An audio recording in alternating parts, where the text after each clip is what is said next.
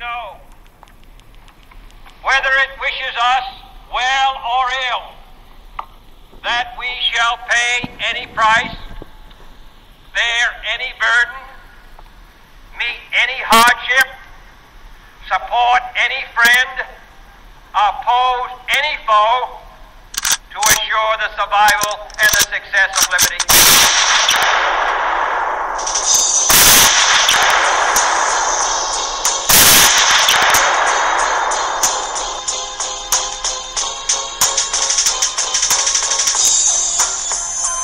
Found the 22 November Network, the voice of the grassroots JFK research community. This is the Lone Gunman Podcast with your host, your boy, Rob Clark.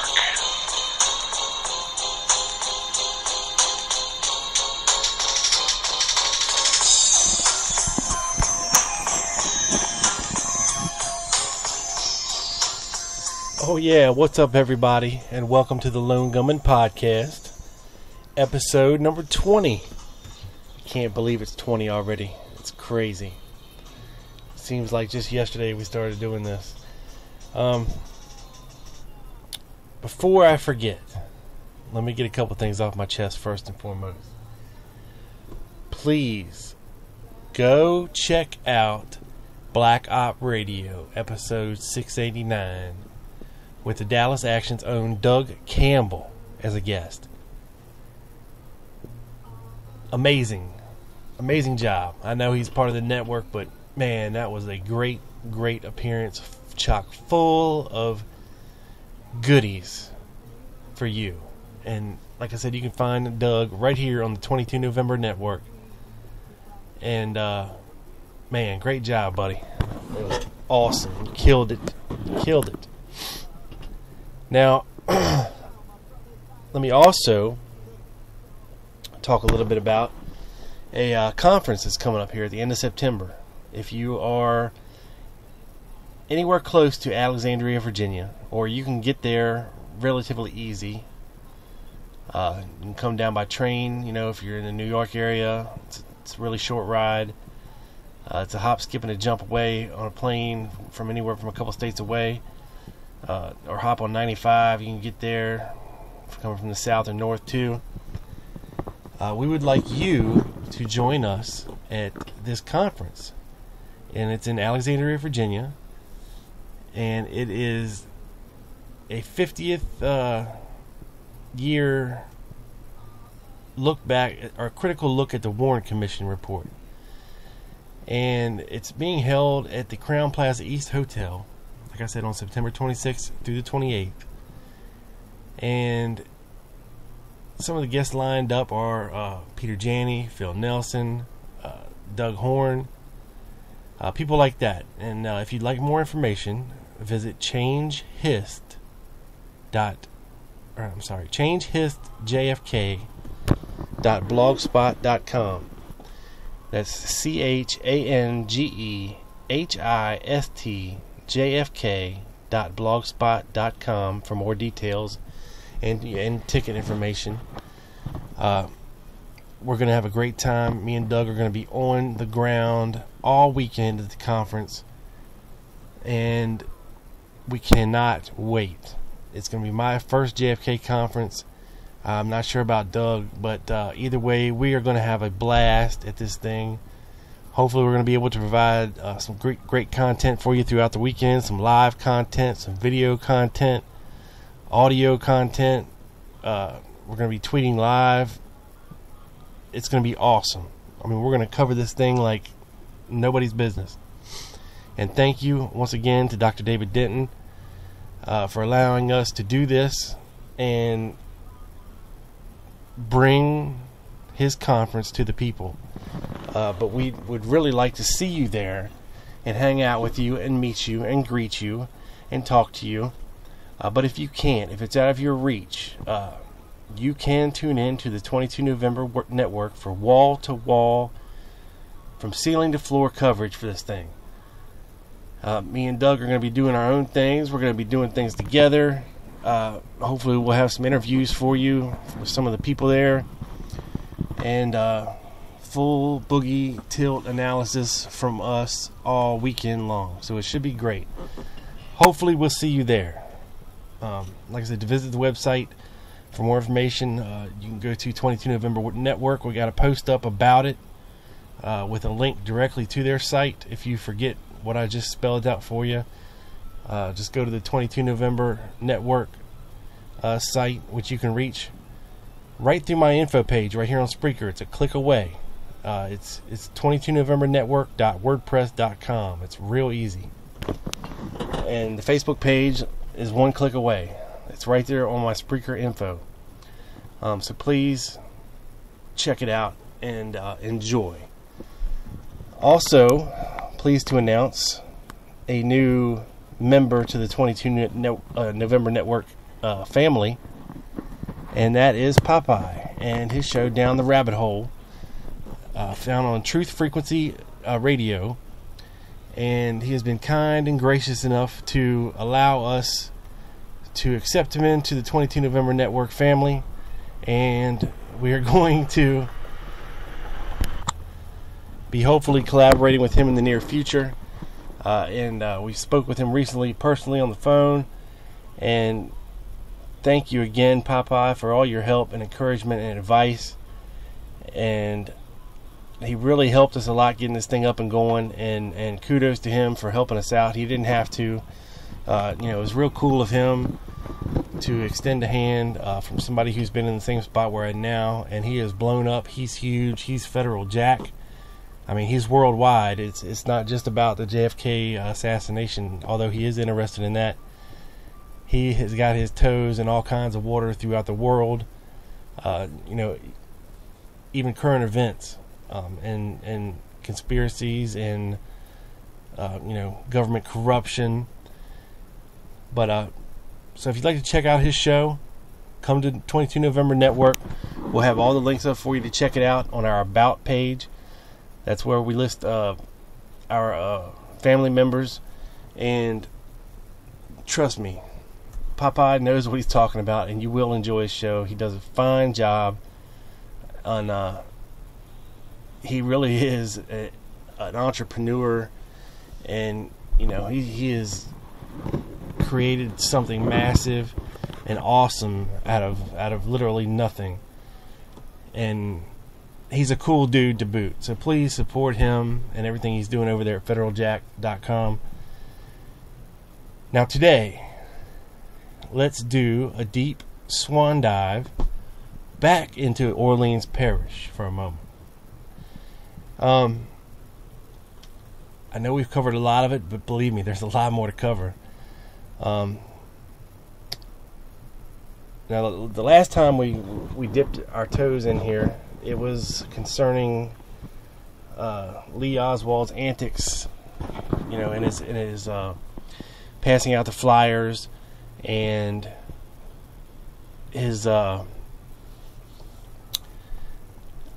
appearances on the Latin Listening Post with Bill Stuckey and those guys and Ed Butler and Carlos Bringuier and uh, what you know exactly what he was doing down there.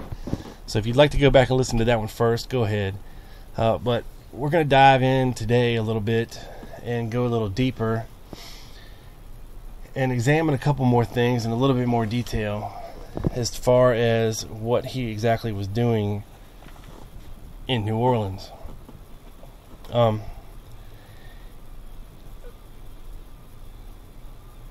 documents have surfaced, of course, that the CIA had penetrated the Fair Play for Cuba Committee with its own agents, and that they were supplying the agency with photographs of documents and correspondence purloined secretly from FPCC files. And it's also certain that Army intelligence had an operational interest in left wing groups, including the FPCC.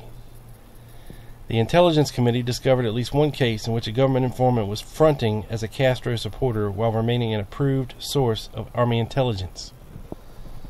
Okay, now if if you remember back to right after the assassination, they were looking for Oswald.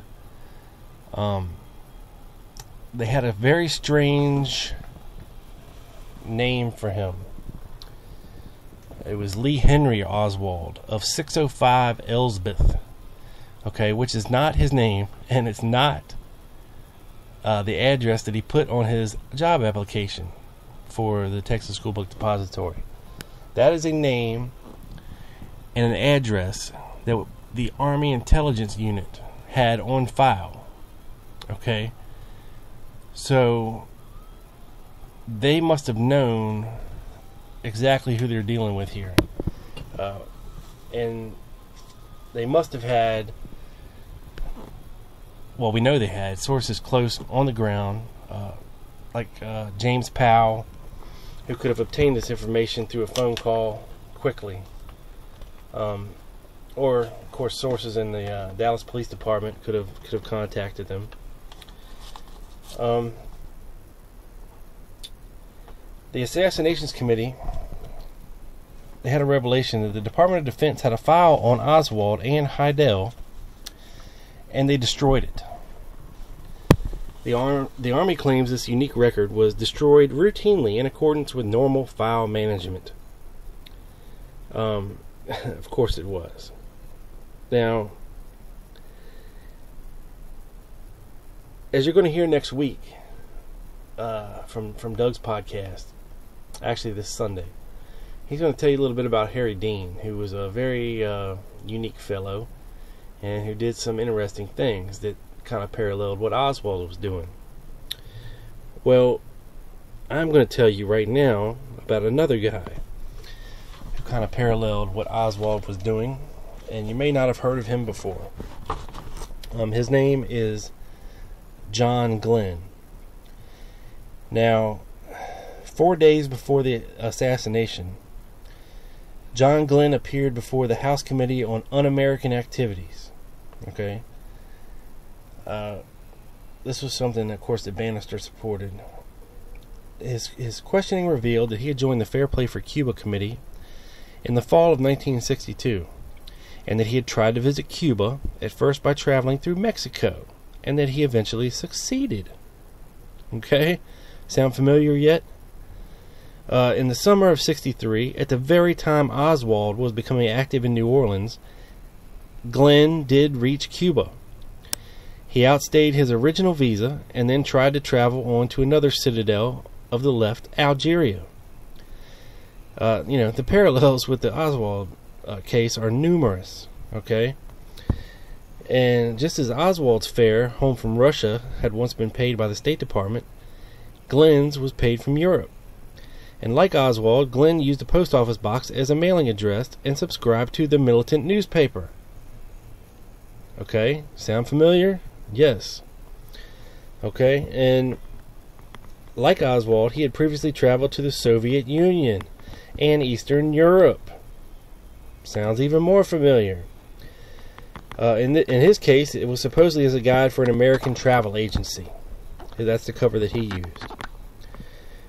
Now, oh, get this. Uh, Glenn abruptly interrupted his university career to join the U.S. Air Force, where he became an intelligence operative. He received a crypto clearance and studied Russian. All right, let's pause here for a second. This is precisely the kind of clearance that Oswald would have had as a radar operator. Um, this crypto clearance. Okay. His career as a left wing activist began soon after he left Air Force Intelligence. The result of his trip to Cuba was uh, played out in front of the Un American Activities Committee. Okay? As soon as Oswald had been revealed as a former defector to Russia, Carlos Bringuier issued a shrill call for a congressional inquiry into his activities. Now, the striking similarities between Glenn and Oswald demand close scrutiny. Okay? Because they are on very, very parallel tracks as to what they're doing here. And the question is who in the hell was running these people? Now, I don't know where Glenn was doing his fair play for Cuba committee stuff. I don't think it was New Orleans. Uh, I'm not sure where it was, to be honest with you.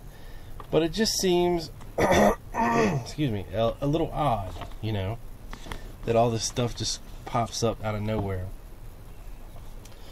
And now we're going to get into a little bit about Thomas Beckham. Okay?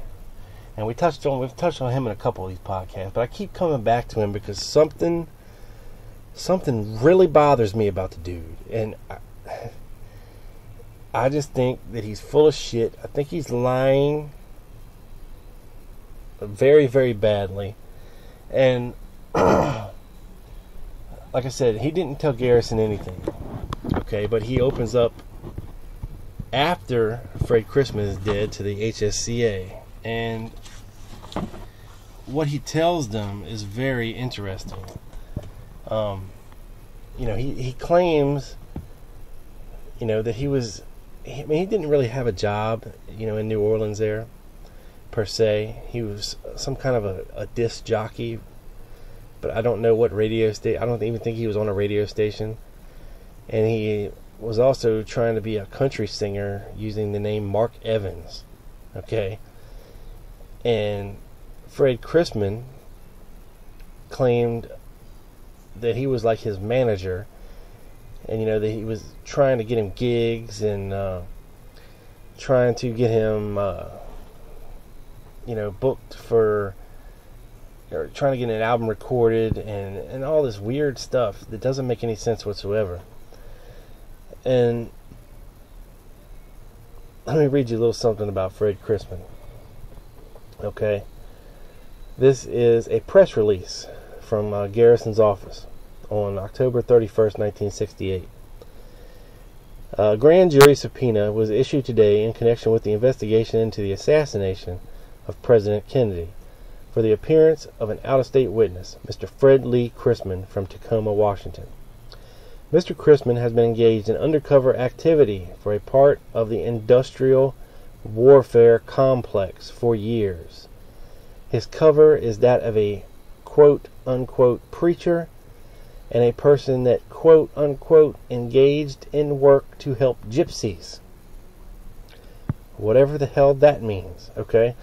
Our information indicates that since the early 60s, he has made many trips to New Orleans and Dallas in connection with his undercover work for that part of the warfare industry engaged in this manufacture of what is termed in military language a hardware, meaning those weapons sold to the U.S. government which are uniquely large and expensive. Okay, so what they're basically saying is Chrisman worked for the military industrial complex. Uh, Mr. Chrisman is a former employee of the Boeing Aircraft Company. Now, they put quotes around former, uh, I guess they don't think he really is a former. Okay. In a sense that one defendant in the case is a former employee of Lockheed Aircraft Company in Los Angeles. In intelligence terminology, this ordinarily means that the, the connection still exists, but that the former employee has moved on to an underground operation.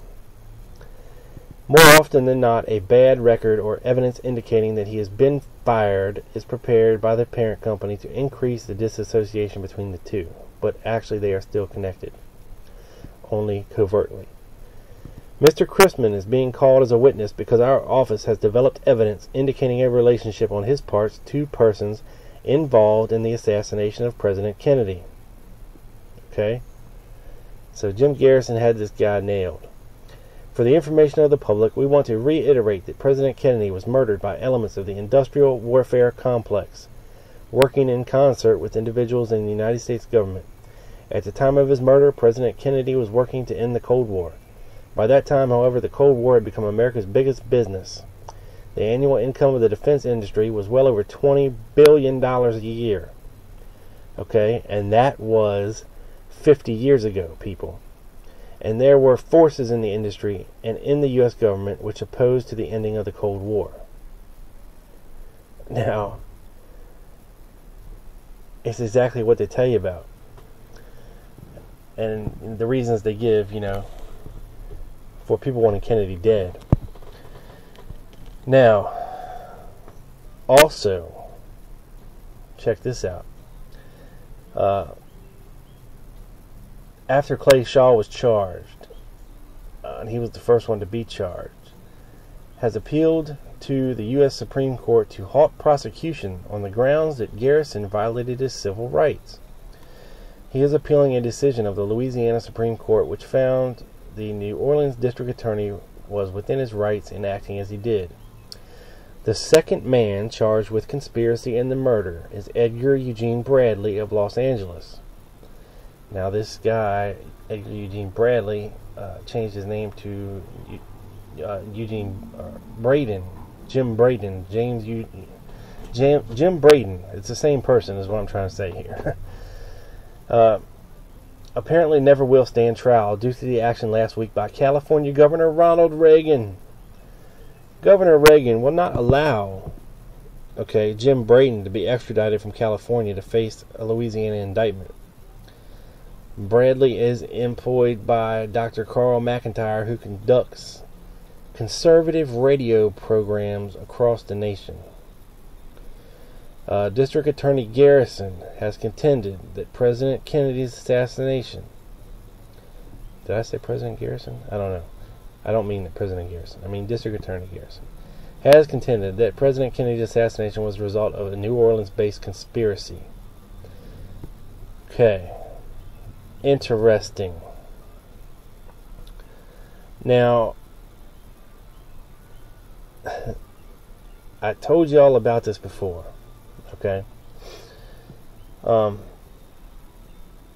and it concerns Fred Chrisman again, but I'll, let me reiterate it here. Okay.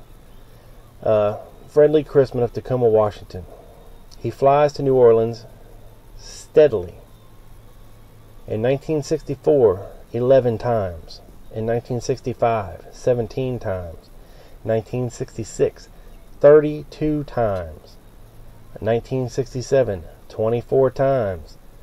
He is the first man that Clay Shaw called after being told that he was in trouble. And he is the first man that Beckham called also.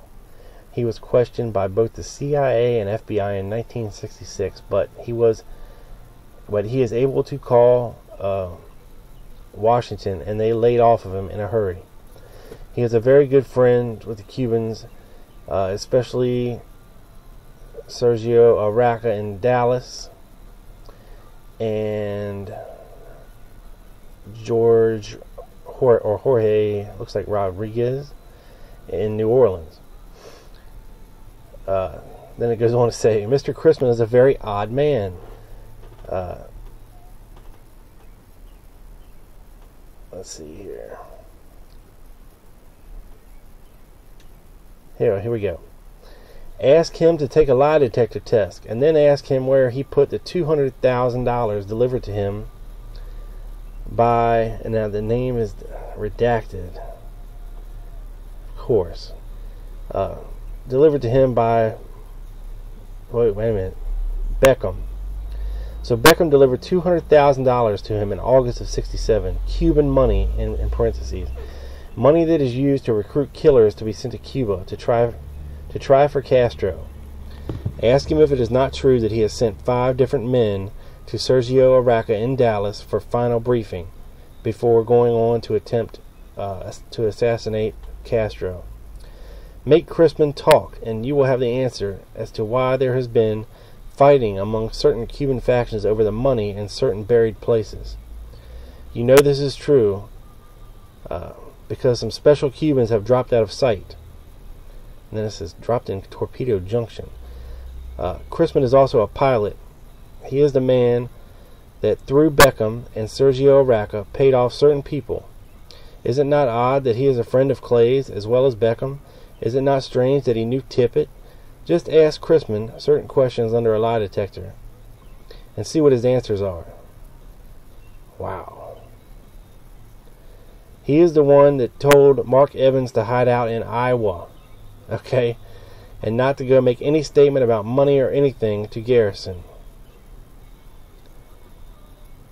All right, and this is from a witness. I don't. It doesn't say who. Um, maybe D. White, possibly. Weird. I don't know. It's crazy. But uh, so if if we if we if we take a look at this a little bit better, um, what it what it appears to be,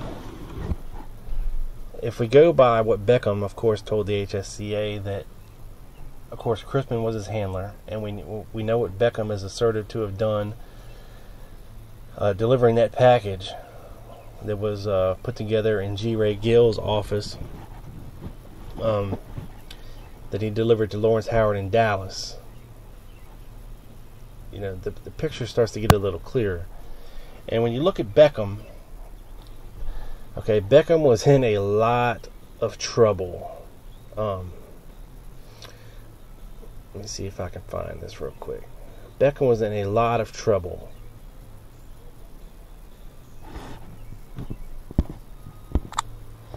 Okay, here we go. This is what a couple newspaper articles from the time uh, stated about Beckham.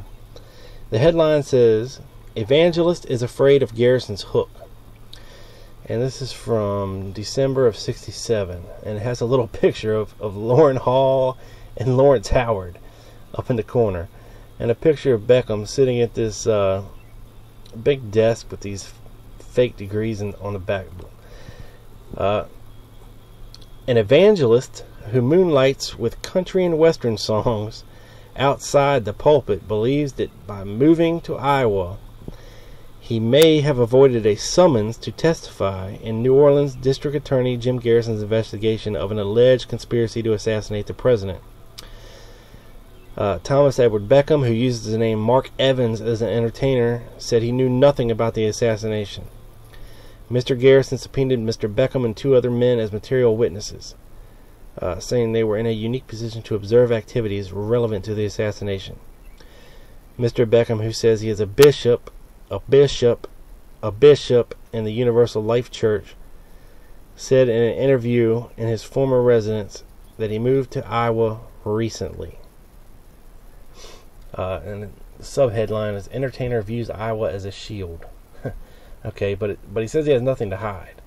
So why why do you need to move to Iowa to try to get away from Garrison? I don't know. Um, but he was definitely linked with the Cubans, uh, the anti-Castro Cubans. He was the money man for them. Uh, you know, he designed, the, he he set up the cans and. Uh, here, let's get on to this.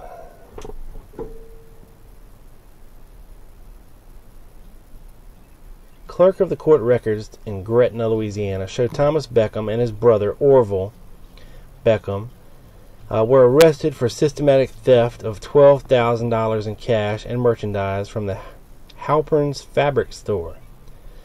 Orville Beckham was the manager of the store at the time, and Thomas Beckham was employed in Halpern's Lakeside store. Merchandise was taken allegedly to be used by both the brothers to stock two stores they intended to open in Gretna. Orville Beckham served a year of probation for this theft, but Thomas never was brought to trial. The last court entry on the case was January 30th, 63, when the trial of Thomas Beckham was continued because he was a patient at the Mandeville State Hospital. Okay. Which means he was in the loony bin okay, while they were trying to uh, to uh, figure this stuff out here. Um, unbelievable. Moving on, I mean, he was like the Teflon Don. Nothing stuck to this guy. I mean, they were uh, just trying to hit him with all these little petty stuff, but he never got in trouble for it. Um, a New Orleans private detective complains Sunday that he is being used by Omaha evangelist Thomas Beckham. I've helped him out of jams before, and he apparently thinks I'll do it again, said Jack S. Martin. Okay. You, I can't make this stuff up, people. Jack Martin, whom Mr. Beckham has described as a hatchet man for Jim Garrison. Okay? Interviewed by telephone Sunday, Mr. Martin said that he has known Thomas Beckham for 10 to 15 years and has advised him on a number of legal matters. Mr. Beckham claimed he had never met Lee Harvey Oswald, named by the Warren Commission as the assassin of the president. But Mr. Martin, but Mr. Martin said he has seen pictures of Mr. Beckham in the company of Oswald while handing out anti-Castro leaflets in New Orleans as part of Cuban exile militant movement. Mr. Martin says it was possible that he had introduced it was possible that he had introduced Beckham to David Ferrie, the former airline pilot who died last February. He said he had met and talked to Mr. Ferrie on several occasions while representing him on a criminal action filed by New Orleans police. He said Mr. Beckham may have been along on such a visit. Okay, now this is Jack Martin talking. So he acknowledges that uh, Thomas Beckham knew David Ferrie, Although he has denied ever meeting Lee Oswald. Okay. Said Mr. Martin, I can't swear that Beckham ever knew Oswald, but I saw the pictures, and I know Garrison has copies of those now. He said the photos were taken by a New Orleans television station while producing a documentary program on the Cuban movement. Mr. Martin said he was never employed by the Garrison office but had on occasion helped out. He said that so far as he knows, Mr. Beckham has never worked with the district attorney's office. Mr. Beckham's ordination as a priest. Okay, first he was a bishop, now he's a priest in the Old Orthodox Catholic Church of North America. Now, this is the exact same one that David Ferrie was a part of. Uh, was obtained by mail order from a man in Toronto, Canada. He, meaning Mr. Beckham, opened a mission on Rampart Street and came to me asking if I could get him some religious papers, Mr. Martin said. I told him about the guy in Toronto.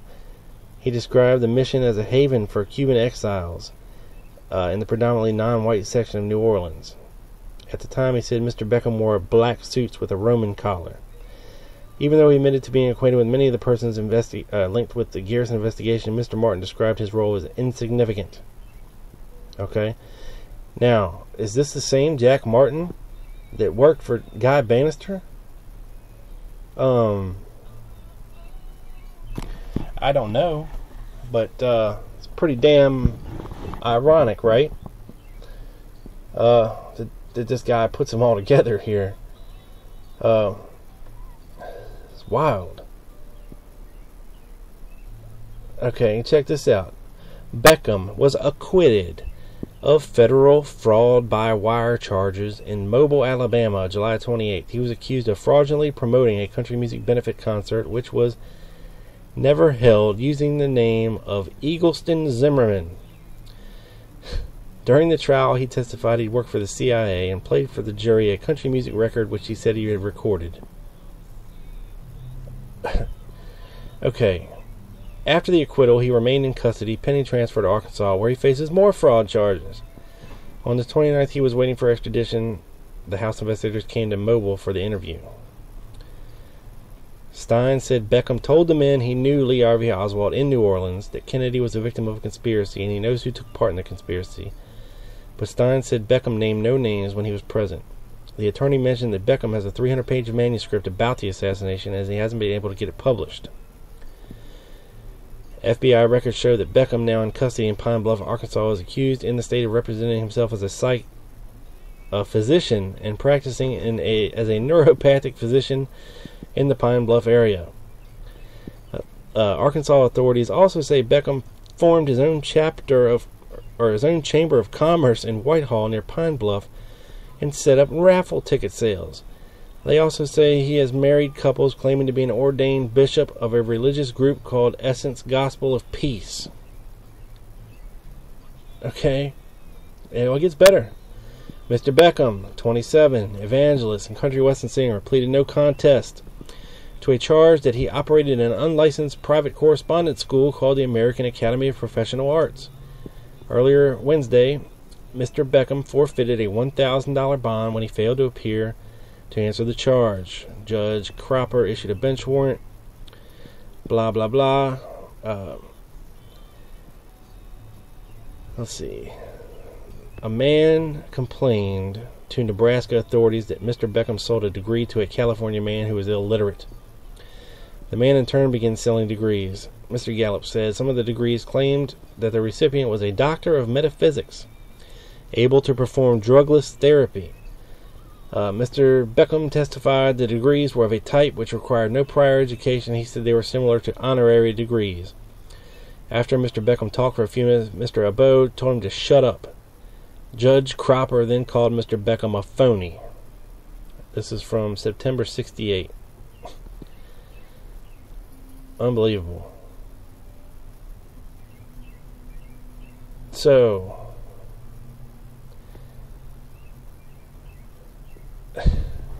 this Beckham guy, okay?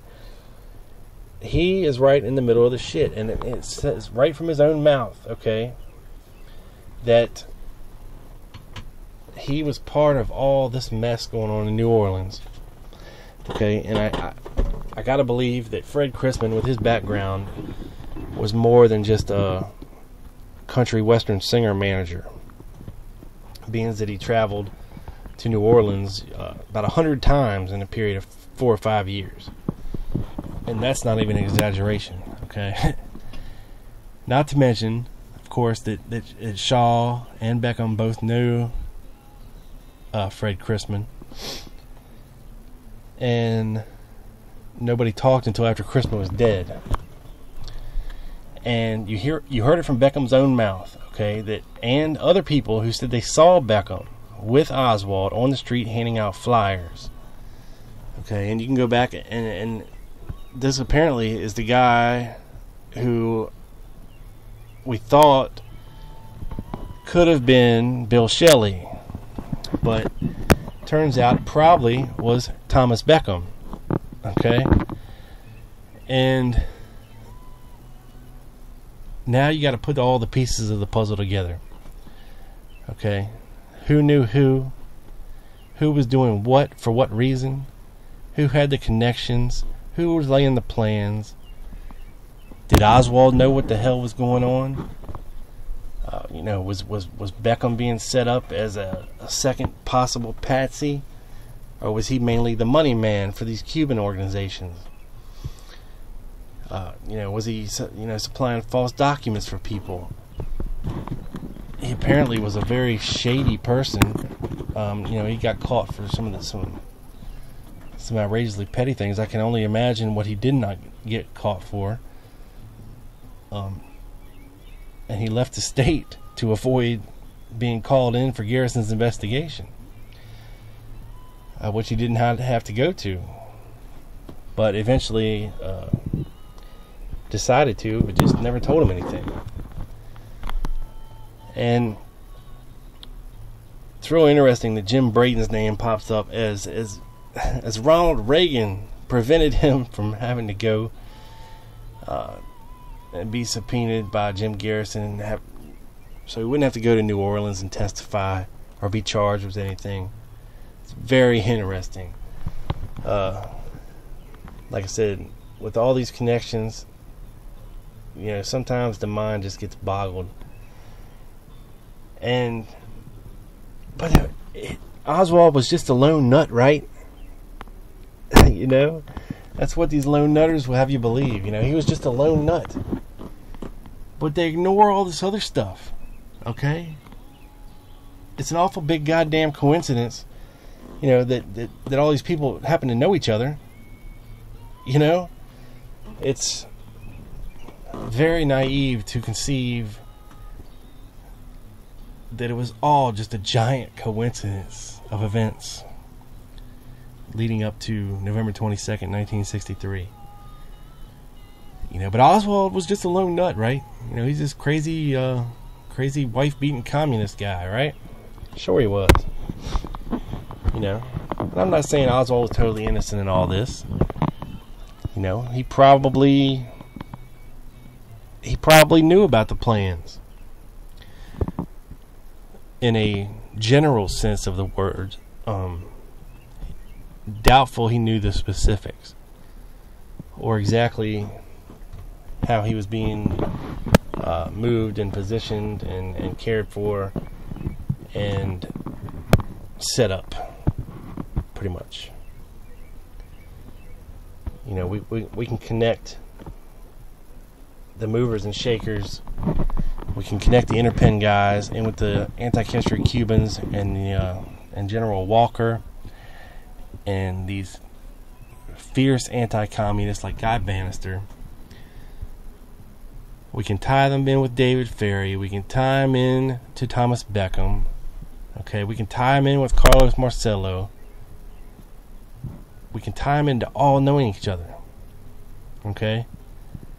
And poor Lee Oswald is right here in the middle of all this stuff. And to, to ignore it is just, oh, it's a big giant coincidence. You know, I somehow fail to believe that. And an interesting note, of course, is the William Reily Coffee Company, who was run by, oh, well, Reily Coffee, run by William, William Reily, who was a v- massive anti communist. He had a lot of money and he loved to invest you know his money in in these causes and it was right around the corner from Banister's office okay? So I'm sure if if, if Lee come in there needing help or needing a job he was sent there. You know maybe promised great things down the road. Uh, maybe they needed him to terminate his employment because they needed him to do other things. But really interesting is the in a, well in a subsequent interview, not his testimony, because he didn't say anything to, to the Warren Commission about this per se.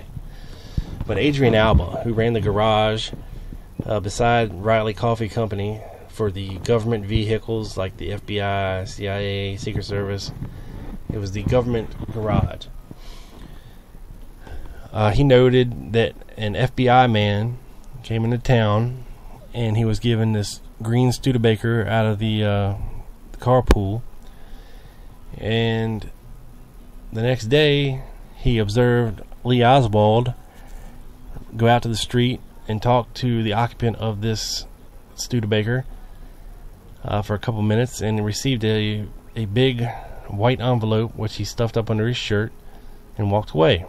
And a couple days later, uh, the same thing. He goes out and talks to this guy for a while. He's handed an envelope, and then Alba says, you know, the guy goes back to Washington, but he, he was sure that he was an FBI guy, you know, because he has to know this stuff for the for the paperwork aspect and who he's giving these cars to. So very interesting. Um, well, let's let's let's let's call it there for tonight, and. Uh, I will implore all of you to please visit the 22 November Network. Uh, give us a like on Facebook. Give us a follow. You can follow the blog. You, you'll receive an email every time anything's posted there. Uh, you can follow the comments.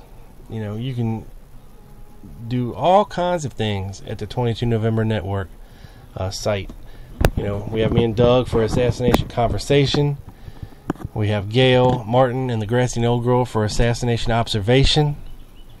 You know, their their their blogs and articles and, and columns, JFK related and research related. And of course, you can check out our brothers and sisters in the network, Leonard Sanic and Popeye, and their respective shows. And feel free uh, to hit us up on the Facebook page or post up anything you want, evidence you want to talk about and uh, let's get a conversation going, people. That's what we're here for. Um, that's what we want to do. And if you like what we're talking about, please share links. Okay, so all your friends know where to find us. That's the only way we're going to grow is with your help. Uh, we thank you for everything that we've received so far and all your help so far. It's very much appreciated. Anyway, this one is in the can up to the satellite, beamed directly to your ears. Rob Clark is out.